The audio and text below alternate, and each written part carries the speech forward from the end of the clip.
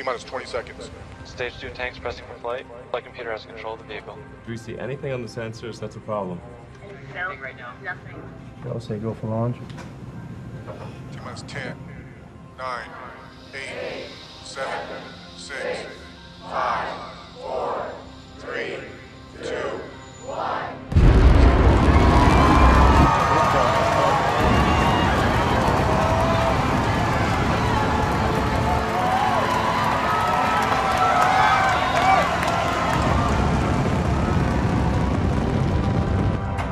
It's going, baby. It's going. Come on, baby. Let's go. All right, so what you got?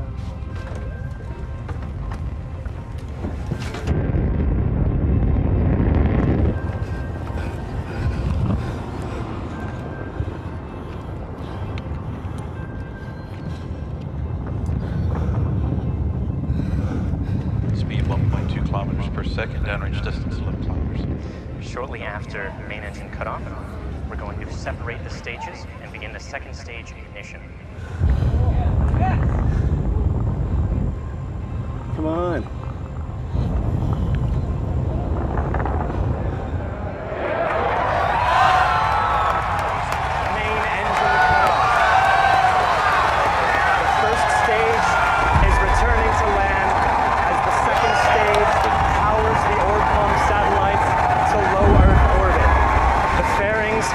Successfully deployed.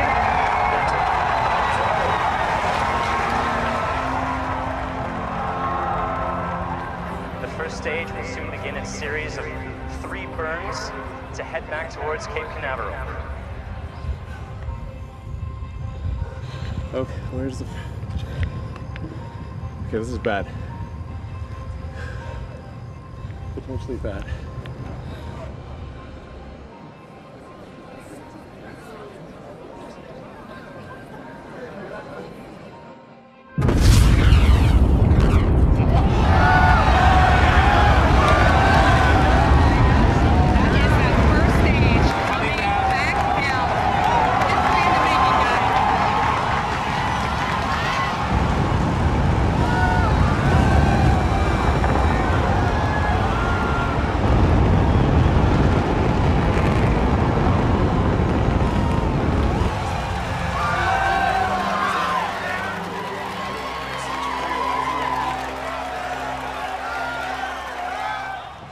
Standing up. It's standing up.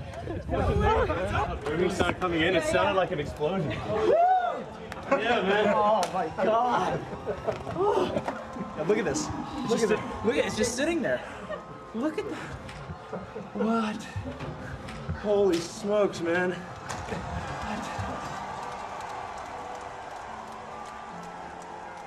It- It's kind of amazing that this window of opportunity is open for life to go beyond Earth. And we just don't know how long that window is going to be open. The thing that gets me most fired up is that creating a self-sustaining civilization on Mars it would be the greatest adventure ever, ever in human history. It- It would be so exciting to wake up in the morning and think that that's, that's what's happening.